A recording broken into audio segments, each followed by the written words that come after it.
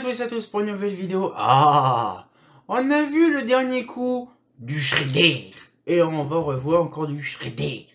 Aujourd'hui, nous allons voir la petite Shredder VTC. Euh, oui, VTP, c'est quasiment la même chose. Que fait la VTP, c'est sur une version poutre. Et là, c'est une version cross, hein, donc c'est tout à fait normal. Euh, donc du coup, on va voir un petit peu tout ça. Alors on va dire en gros, euh, pour ma part, oui c'est un grand buffet, hein, déjà sans sox 180. Mais euh, en gros ce qu'il fait c'est que bah, justement sur ces modèles là, c'est on va dire un petit peu la GZM, GZB, on va dire dernière génération, c'est le safe. Parce que c'est vrai qu'il n'y a pas eu trop de mise à jour entre deux.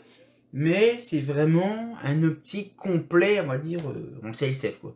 Mais euh, vous allez voir quand même qu'il y a des différentes choses bizarres et cheloues qui est dedans. Mais à mon avis, c'est vraiment bien spécifique. Mais je vous garantis, il y a des systèmes bien spécifiques qu'on va découvrir là-dessus. Euh, après, je sais que celle-là, c'est une des versions aussi qu'on pouvait aussi avoir, on va dire, en appareillé. Et euh, je vous garantis déjà, là le truc, il est pas appareillé, il pèse un âne mort le truc. Mais on va regarder tout ça ensemble et je vous garantis, le truc, il est très lourd. Ah, ça c'est les prochaines vidéos. là, oh là. Je vous garantis, je vais essayer de tout, tout, tout. Hop là, attention. Choc collision frontale. Donc là, donc du coup, ça c'est la fameuse VTP, VTC. Donc du coup, avec le système, donc ça c'est vraiment tout ce châssis là, en gros, qui se retire et ça se met un poutre et à partir d'ici. Et là, ici, on a l'auxiliaire qui a l'appareillage de base. Là, il est vide dedans. Et donc, du coup, dedans, on a un petit peu des trucs. Alors, bien sûr, je vous donnerai, euh, je vous donnerai des petits détails sur autre chose. Euh, déjà, on va commencer déjà sur les charnières. Vous savez quand même que ces modèles-là sont super bien, sont, on va dire, récents. Ça a été vendu, je, ne sais plus quoi, euh, je sais plus quand, quasiment dans les milieux fin 2000, justement. Et on avait énormément de problèmes avec ces, petites charnières dans ces trucs-là, parce que ça se cassait facilement. Parce qu'en fait, quand on avait le modèle, en fait, euh, le god il s'enlevait directement. C'était super bien. Et donc, du coup, ce qui fait, c'est pas comme, on va dire là, voilà. Donc, j'essaie de faire un espèce de gros plan. Mais le problème, c'est que vous l'avez vu, dans l'avatar, ça prend une grosse quantité de dimensions. Et puis là, ici, on a souvent euh, cette partition-là aussi de crochet qui se bat. J'ai ma clé euh, là, la clé voiture qui me fait mal. Donc là, nous avons le crochet.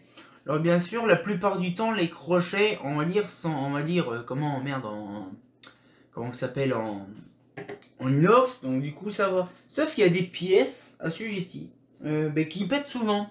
Alors c'est un peu chiant, c'est un peu casse-bonbon, mais bon, à la longue, on a l'habitude, j'ai l'habitude d'en avoir des pétés. Notamment Dorian, il a une hache avec euh, les fameux godes de pété, c'est un peu casse-bonbon. Euh, après, pour vous dire, c'est vraiment, on va dire, une optique. Je pense que c'est vraiment une optique d'une seule pièce, mais je ne suis pas si sûr. Et à mon avis, ouais, excusez-moi pour le bruit, mais à mon avis, c'est deux plastiques.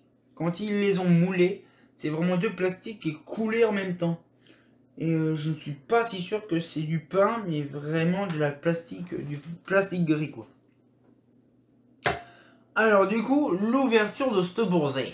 Alors du coup, c'est très simple et c'est bon, la vache, hyper dur, on peut le voir. Et hein, comme toujours chez Shredder, il y a toujours les trucs pince-pattes. Et nous avons l'intérieur du bourset.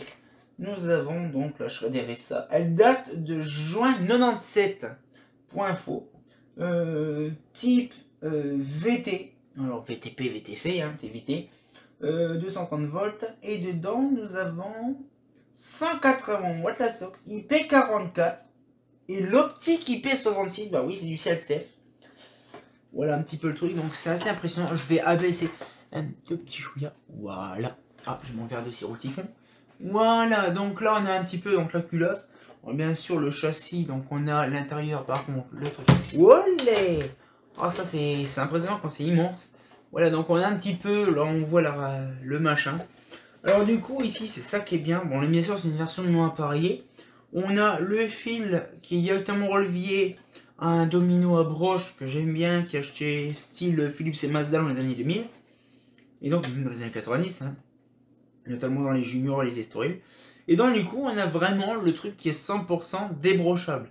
Vous allez me dire pour quelle utilité? Bah oui, en fait, le problème c'est que quand on veut défaire, donc là c'est le 3 on a des petits crochets à défaire sur les côtés, et après on défait. Sauf que quand on fait ça, euh, une SOX 180, c'est un peu compliqué.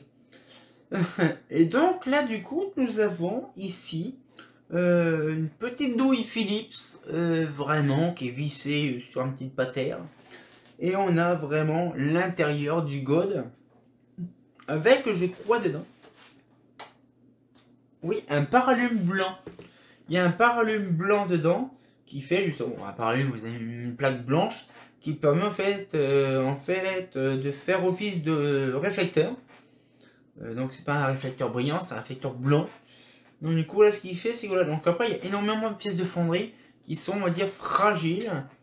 Et c'est complètement débile. Mais bon alors apparemment faut que je regarde comment ça se remet. Ah ouais ça se remet comme ça donc là en fait il n'y a que deux positions sur ces machins là faut que je regarde. Alors normalement là je crois voilà. Donc là ok donc ça tac. Faut que je le regarde. Voilà. C'est assez compliqué leur délire. Parce qu'en fait il y a un il y a un truc sur le côté qui permet...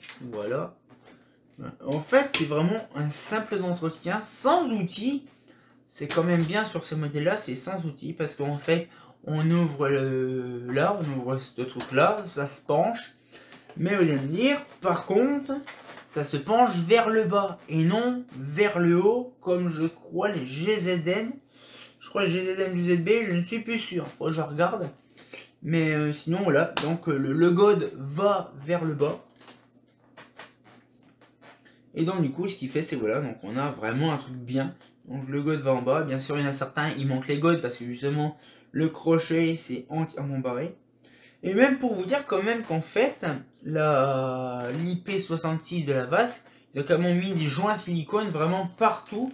Mais vraiment bien partout. Genre, ils ont pris le doigt, ils ont pris plaisir à dire aplatir le truc. C'est vraiment drôle.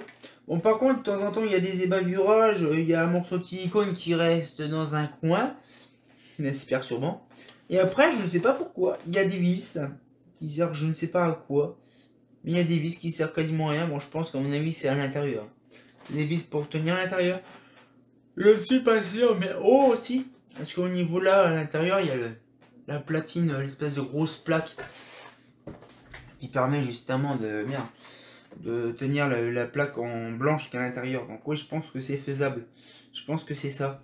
Mais euh, franchement, pour ma part, c'est un grand god avec une poutre qui est hyper lourde.